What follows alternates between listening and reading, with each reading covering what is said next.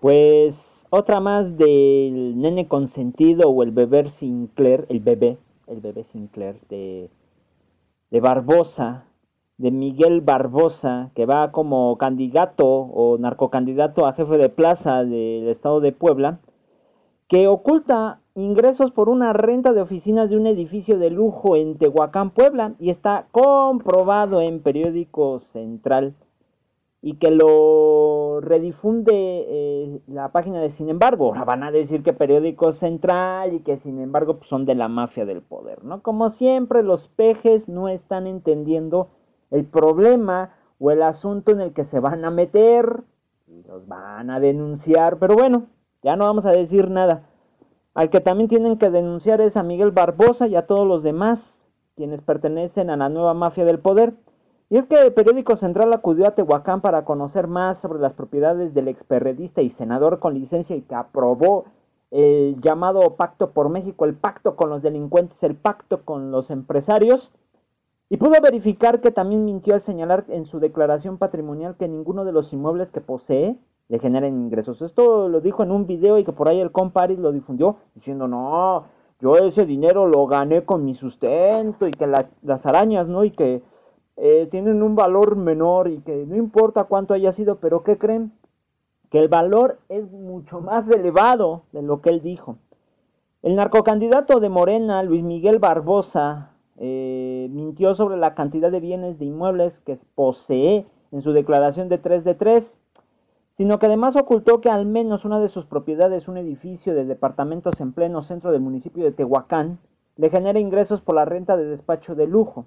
Esto a través del diario El Universal publicó que el candidato de Morena ocultó cuatro propiedades en su declaración patrimonial, una casa de 733 mil pesos y tres lotes en el lujoso fraccionamiento La Vista de Tehuacán, por más de 3 millones 500 mil pesos, pero no solo eso.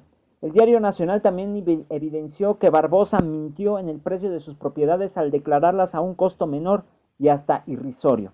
Acudió a Tehuacán, este periódico central que pertenece al Universal, para conocer más sobre las propiedades del experredista y senador con licencia y pudo verificar que también mintió al señalar en su declaración patrimonial que ninguno de los inmuebles que posee le generan ingresos.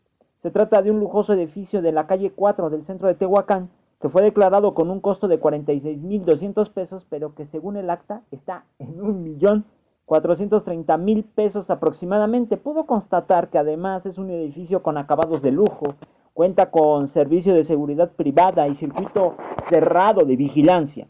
Tiene cuatro pisos. En cada uno de los, de los pisos tienen cubículos de baños. Y los accesos están equipados con puertas con un sistema cerrado a través de una clave numérica.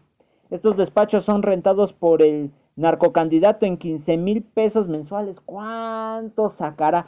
Pues vamos a investigar si también están rentando edificios de lujo bajo, pues la, vamos a decir, el amparo de la corrupción, ¿no? Sospechamos que esto le puede acarrear problemas al nene con al nene sin sentido, porque el consentido es otro y este es el nene sin sentido.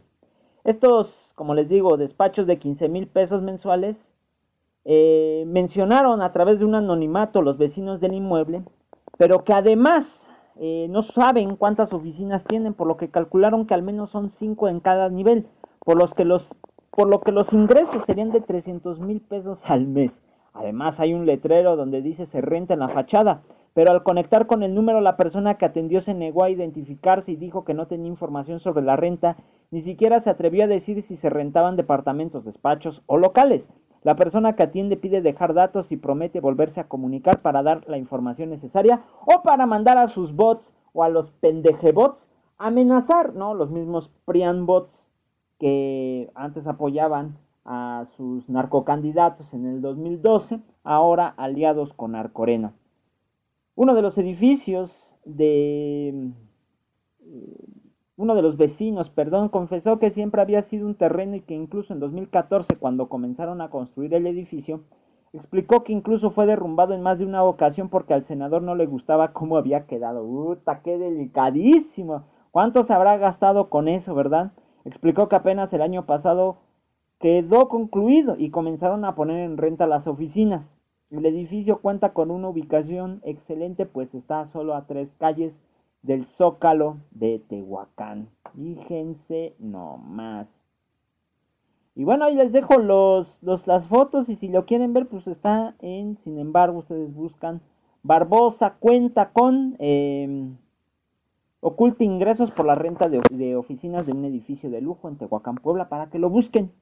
Y digan, ay, pues es que lo estás inventando, ay, es que la mafia del poder y las arañas, sí, claro, es la nueva mafia del poder, que a través de los mismos que crearon la mafia del poder, pues ahora lo van a crear a través de este narcopartido llamado Moreno.